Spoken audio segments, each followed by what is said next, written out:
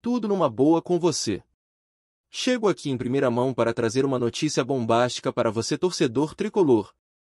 Se você gosta de ficar por dentro de todas as notícias do São Paulo, já corre aqui abaixo, inscreva-se no canal e ative o sino de notificações.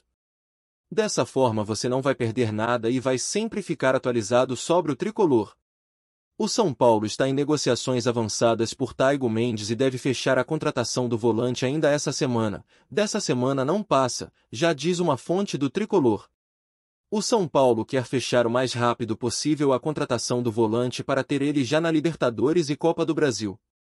O tricolor deve fechar apenas com Thiago Mendes e não deve contratar lateral esquerdo e nem zagueiro nesta temporada.